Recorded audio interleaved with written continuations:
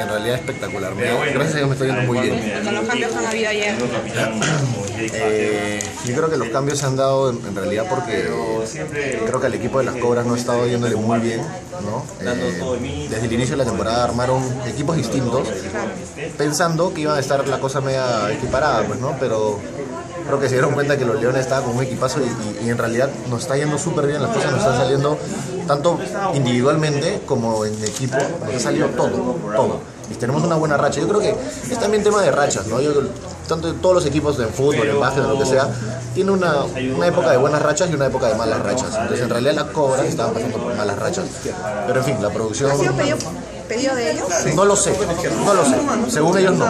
Eh, pero yo creo que ya es un tema de, de- sea, de 15 días. Si ganamos 12, ya es como que un poco también el público quiere ver celebrar la cobra. ¿no? Entonces en realidad han ¿Estás de cambiado. acuerdo con los cambios? Eh, ah, sí, yo casi, yo casi. En realidad, mira, el tema, el tema principal creo que, que ha causado más, más este, polémica fue el tema de Kina y Melissa, ¿no? O sea, porque Kina es icono de las cobras y Melissa es icono de los leones. Y, siempre se enfrentan juntas, ¿no? Si las han cambiado, una para los leones y la otra para las cobras, es lo mismo.